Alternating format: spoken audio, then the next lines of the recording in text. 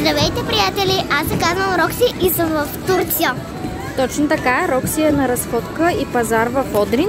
Вече си купи цяла турба с подаръци. Ще ви направим допълнително видео какво си е избрала Рокси, какво си е купила. И ние сега продължаваме с нашата разходка и с пазаруването. И друго какво хапнахме, мамо?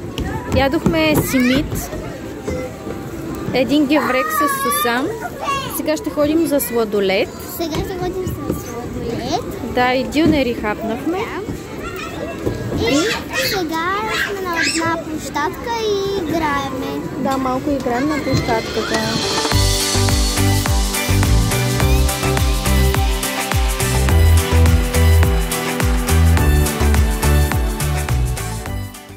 Хубав ли е сладоледа, Роксе? Да, много е вкусен.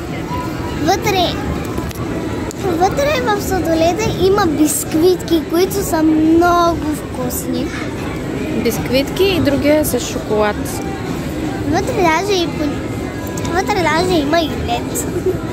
Но нищо. Ние сме приключили с разходката и сега вече ще се ориентираме към колата. Нали? Да. За сега ви казваме до скоро.